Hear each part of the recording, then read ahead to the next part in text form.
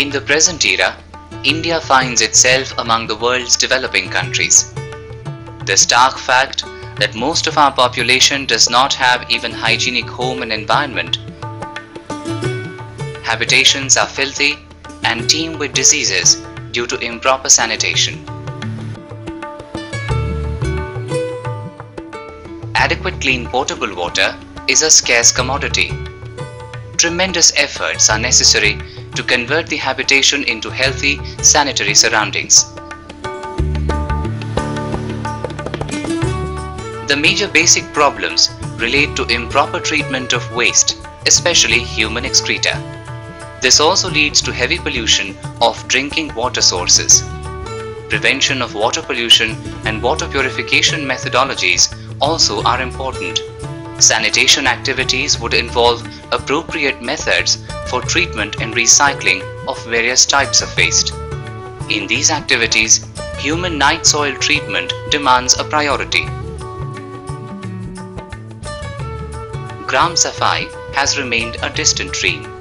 Many efforts for improving sanitation are being made by governmental and non-governmental agencies.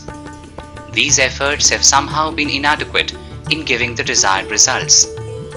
In India, with encouragement from Mahatma Gandhi, late Appa Sahib Patwardhan, Gandhiji's trusted lieutenant, worked intensively with dedication for the cause of appropriate low-cost sanitation technologies since 1928. Taking inspiration from his visionary work and in his memory, Appa Patwardhan Safai wa Paryavaran Tantra Niketan was established with the objective of R&D, training, consultancies and project implementation for promotion of sanitation. Our preventive medicine professor, Dr. Adranwala, impressed on us that curative medicine is not the real solution for the health problems in the country. He insisted that we should be more particular about preventive measures as far as our country is concerned. When I actually came to the field and I started conducting outpatients department, I noticed that what he said was really very, very reasonable. What is important for our country is the management of waste, all four kinds of waste, human excreta, animal excreta, garbage and sewage, the improper management of which is responsible for most of the ailments in our country. The appropriate technology would depend on the technologies which would be suitable for the situation in our country.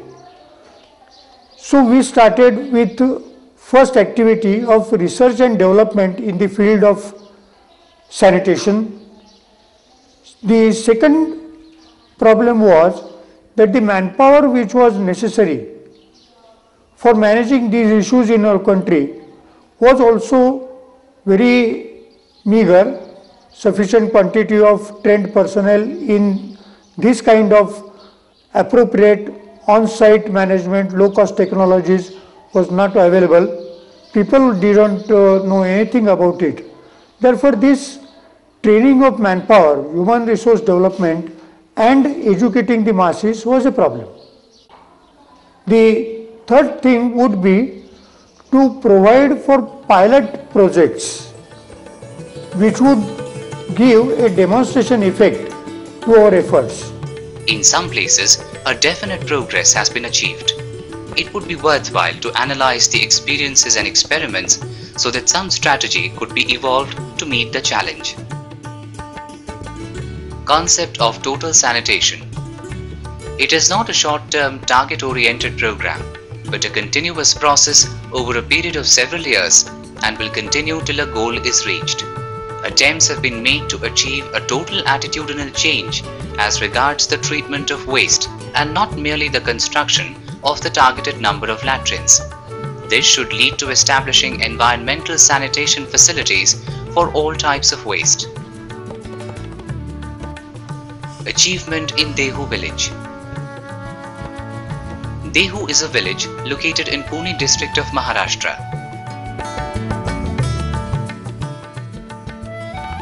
It has a population of about 10,000 and has about 1200 houses.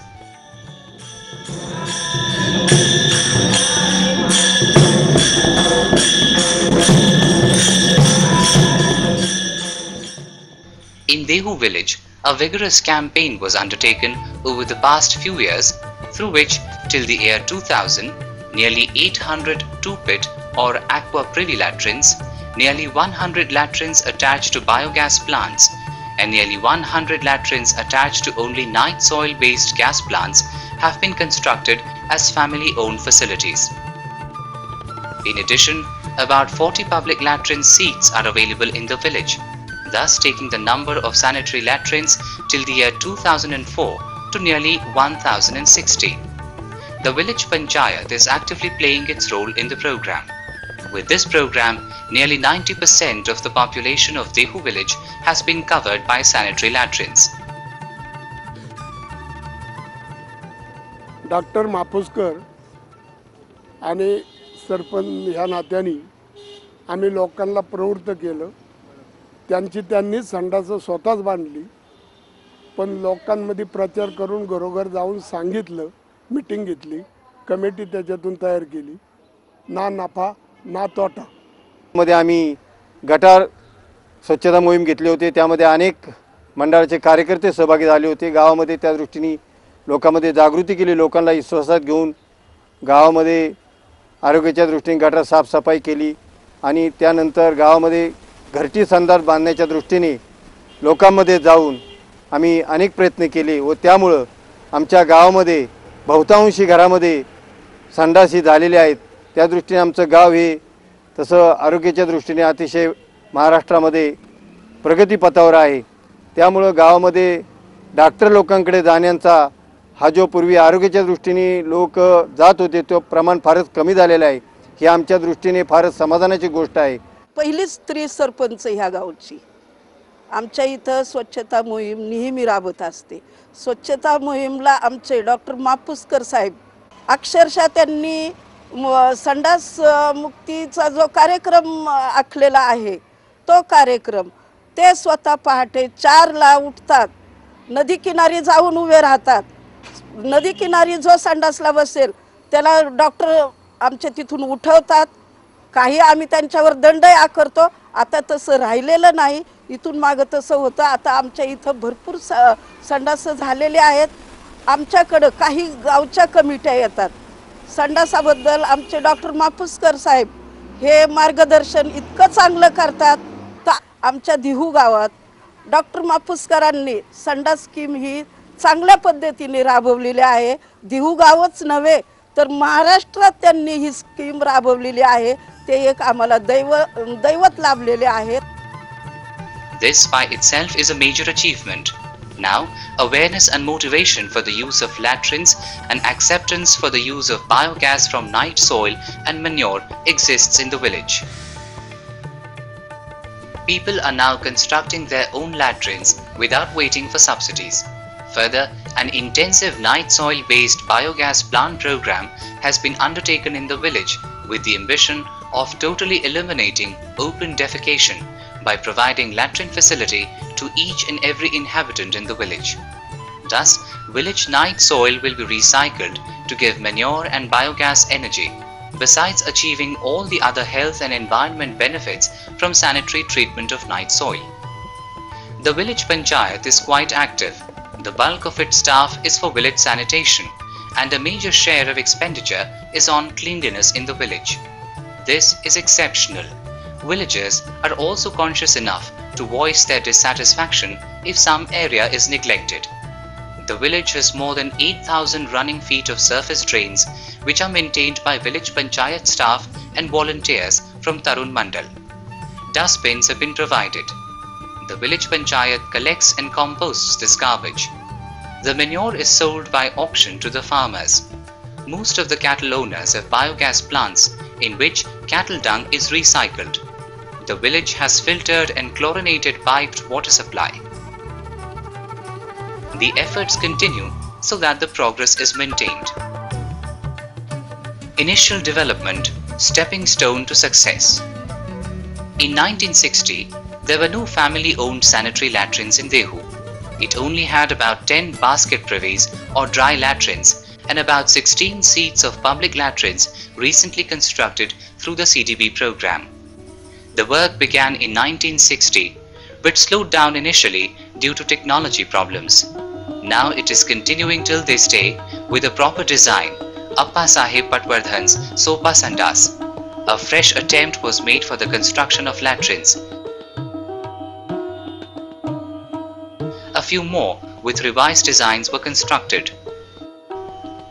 Intensive IEC, that is Information, Education and Communication efforts. A massive awareness campaign was taken up.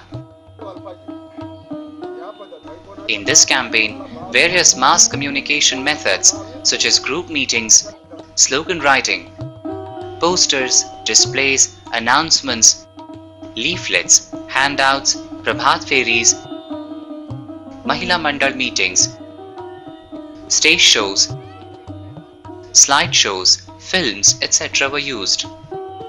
In order to emphasize the relationship of sanitary disposal of human night soil and the prevalence of diseases, a feces or stools examination survey was done. The survey revealed that 84% population, irrespective of age and sex, suffered from worm infestation.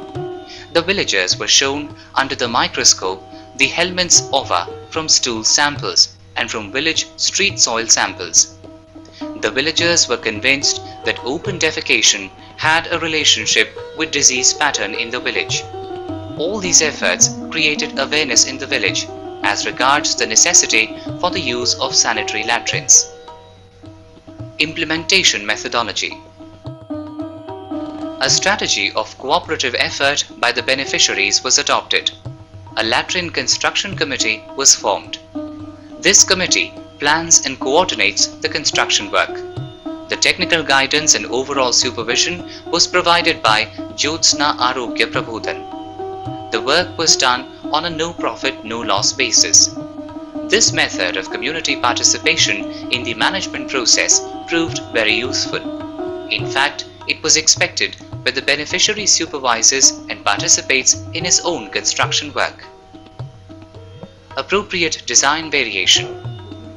The design was modified wherever necessary to suit the available space, keeping in mind the basic principles of the design. The dictum was if you can accommodate a kitchen in your home, you can also accommodate a latrine. Night soil based biogas plant.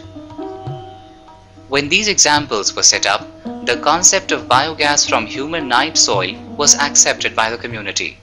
More and more families came forward for the construction of night soil based biogas plants.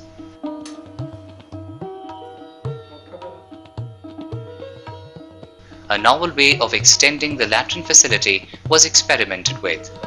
The owner constructs the biogas plants with latrine. He allows his neighbors to use the latrines on a pay and use basis. Thus, the owner receives maintenance charges, biogas as a fuel, and manure.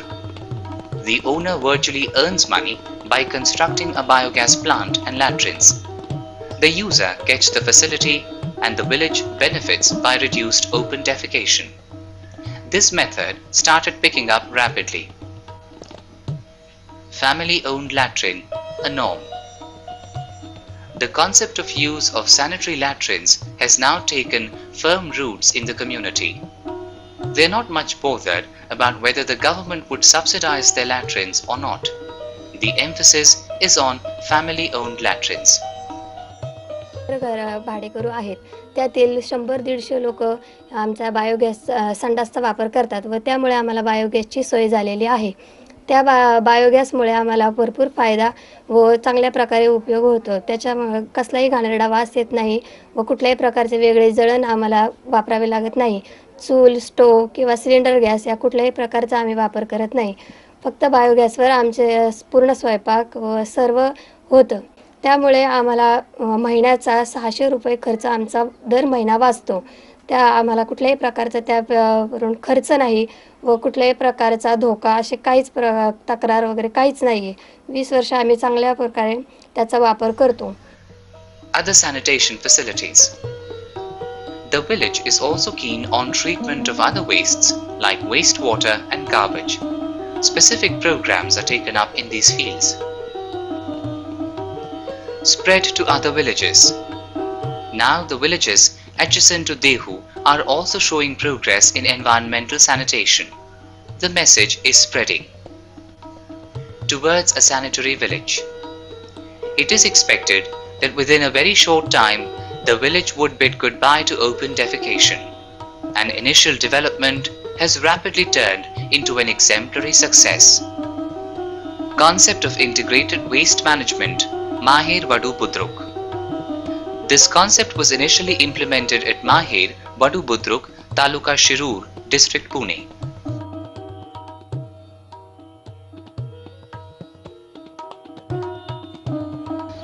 Before implementation of this concept, the institution, having a population of about 80 persons, was facing various problems such as Number 1.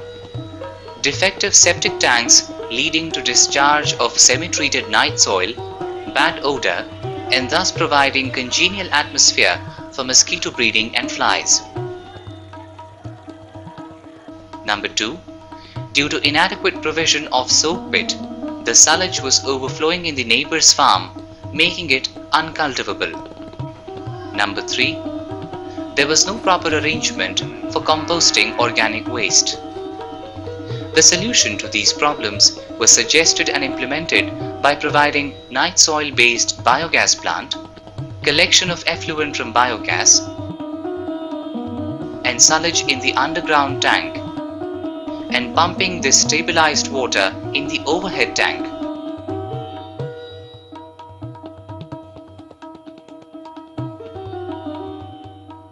which is being used for irrigation of the kitchen garden.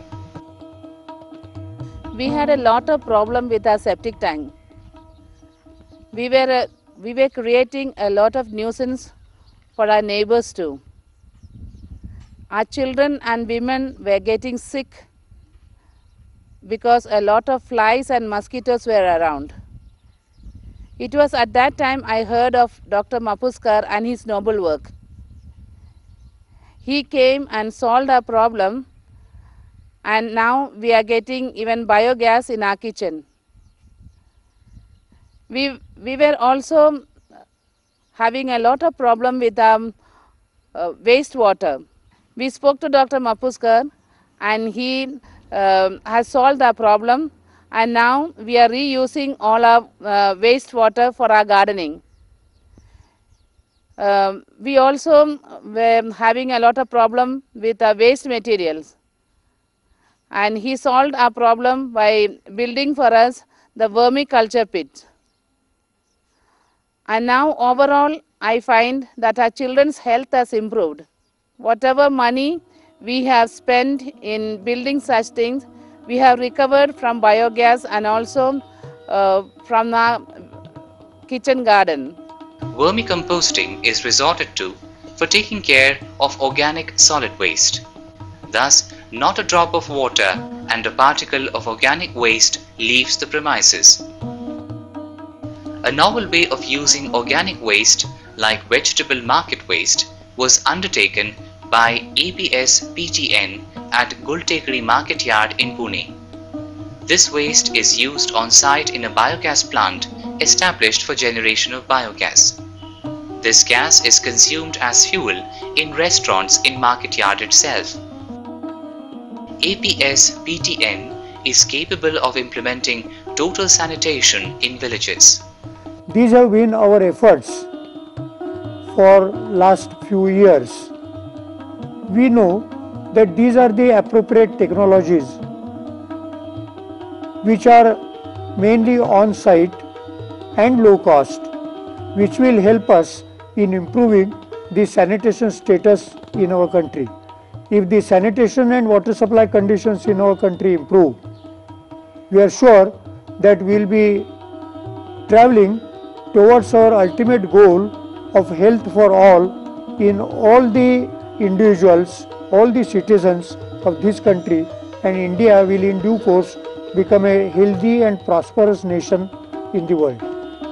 Our organization possesses technical expertise in biochemistry, civil engineering, administration, educating the masses, medicine, preparing project reports, and supervising projects. We have successfully executed projects in other districts in Maharashtra as also in states like Tamil Nadu, Madhya Pradesh, etc.